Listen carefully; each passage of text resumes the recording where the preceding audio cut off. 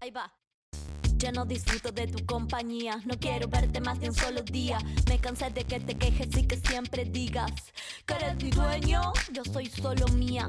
Llegaste a pensar que me tendrías, por más que lo intentaras, no lo lograrías. Practicas el amor como toma y esa idea no aplica, ¿lo entiendes? Lo digo con rima en la pista. Bueno, realmente celebro esta iniciativa que ha tenido la mesa de Ni Una Menos. Es la primera vez que todas las mujeres conductoras, locutoras, periodistas de la ciudad nos juntamos para, eh, eh, digamos, hablar de un tema tan trascendente y fundamental. Hemos tenido aquí en Plaza Ramírez una jornada más que, más que enriquecedora porque pudimos conocer las voces de, mujeres referentes de un montón de espacios, de la política, del ámbito civil, del ámbito de la cultura, que nos han brindado su mirada eh, respecto a la violencia de género, respecto a esta problemática y respecto también cómo desde el lugar que ocupan en la comunidad afrontan y luchan para justamente derribar esta problemática. Y es una jornada más de visibilización, es una jornada que, que ha convocado a mujeres de diferentes espacios,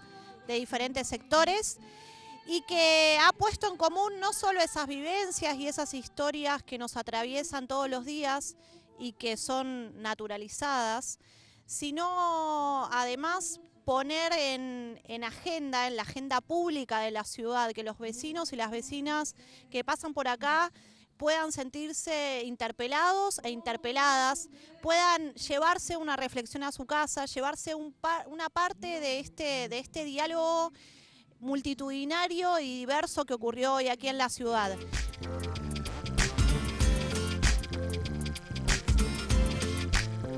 Eh, llegaste a pensar que me tendrías por más que lo intentaras, no lo lograría. Practicas el amor como idea.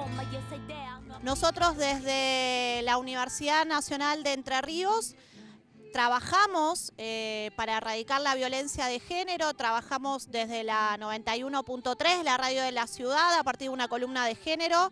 Hemos publicado también un número especial sobre género y diversidad en la revista Riveras, que es la publicación más reciente que ha lanzado nuestra universidad.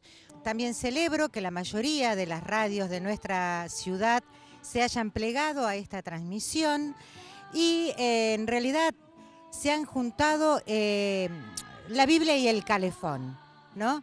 Radios que son que tienen perfiles absolutamente diferentes, radios públicas. Nuestra radio, digamos, es eh, normal y habitual, digamos, era esperable que se sumara esta transmisión porque desde el aire de la 91.3 y de todas este, las radios de la universidad se trabaja este tema, se ha militado y nuestra universidad está muy comprometida también con esta temática.